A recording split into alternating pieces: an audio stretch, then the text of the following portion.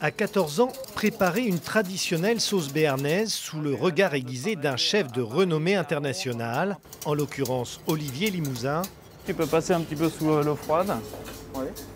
Si c'est trop chaud, ça va cuire tout de suite, tu vois. Tu touches, ça brûle. L'expérience est riche d'enseignements pour ces jeunes apprentis cuisiniers dans ce centre de formation par alternance. D'avoir un grand chef euh, devant nous qui, a fait, euh, bah, qui était à notre place avant, c'est ça fait chaud au cœur un petit peu quand même, ça, donne des frissons.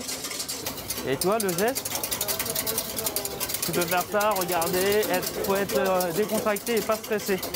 Olivier Limousin est lui-même sorti de ce centre de formation, c'était en 91. Depuis, le futur chef est allé faire ses armes à Paris, dans les plus grands restaurants étoilés, et les palaces à Londres, puis à Bangkok, où il réside actuellement. Une réussite qui fait rêver. Je me souviens, étant en apprentissage ici, il y avait des anciens élèves à l'époque qui venaient, qui travaillaient déjà sur Paris, et j'avais trouvé ça, je m'étais dit, euh, c'est génial, c'est vraiment un devoir maintenant de transmission, de, donner l'exemple, et peut-être qu'il y a un de ces jeunes, euh, peut-être que certains, certains d'entre eux vont travailler ici en Vendée, mais peut-être que pour certains d'entre eux, ils vont se dire, ah waouh, moi aussi je peux être ça.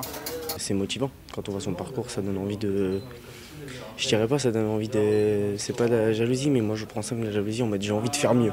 Ça fait toujours bizarre parce qu'on se dit qu'ils ont été ici, et comme nous, et enfin, pour l'instant, je pense pas aller aussi loin. Et on se dit que même en partant de là, enfin, c'est Saint-Michel, hein, c'est petit, et bien on peut aller très haut. Cette journée de rencontre aura donné du courage et du rêve à tous ces jeunes apprentis restaurateurs.